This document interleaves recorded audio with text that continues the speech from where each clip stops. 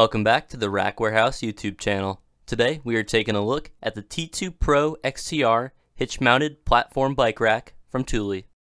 The T2 Pro XTR can carry two bikes, up to 60 pounds per bike, and an additional two bike add-on can be purchased separately to bring the total to four bikes. The XTR features cradles for the front wheel of the bike and an adjustable arm to secure the front wheel as well. Alongside the arm, a wheel strap secures the rear wheel of the bike to the platform.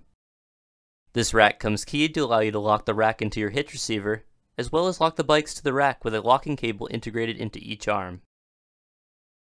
The XTR can be tilted down with bikes loaded to allow for better access to the rear of your vehicle, and when removed entirely, wheels are permanently installed to assist with moving the rack while off the vehicle.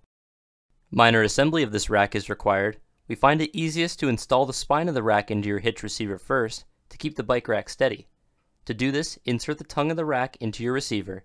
A pinhole finder is integrated into the tongue to make sure you find the correct position for the rack. With the rack in place, turn this knob clockwise to tighten the bike rack into your hitch receiver.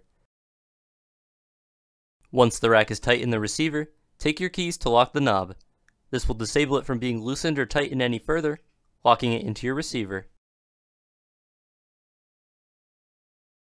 Now it's time to install the two trays onto the spine of the rack. First locate the inner tray, this one will not have a Thule logo printed on it, and loosely install the mounting hardware to hold it in place. From there, fully tighten down the four bolts to secure the first tray to the spine. Repeat the same process to attach the outermost tray to the spine. These trays can be offset to one side if you anticipate there being interference between your two bikes. Simply loosen the bolts and slide the tray to your desired position. With both trays installed, it's time to install the front wheel cradles. Set them into place, and for each cradle, tighten these four screws underneath. Slide the rear wheel cradles on next. Then, install the end caps by inserting them into the ends of each tray, and tightening down the screw on the underside of the rack. To complete the assembly, the last step is to install a lock core into each arm. And with that, the T2 Pro XTR is fully installed on your vehicle. When you're ready to load your bikes, pull the handle down to fold the rack out to the loading position. Undo the wheel strap and tuck it aside so that it doesn't snag on your wheel while loading. The position of the rear wheel cradles can be adjusted to accommodate a wide variety of wheelbases. Load your bike onto the platform of the XTR, placing both tires into the cradles. From there, grab the arm and bring it up over the front tire close to the forks of the bike without making contact. Ratchet this arm down until it has a firm grip on the front tire of your bike. Route the rear wheel strap through the spokes of the wheel and into the buckle. Use the ratcheting mechanism on the buckle to tighten the strap. Make sure to center the pad located on the strap to protect the finish of your bike.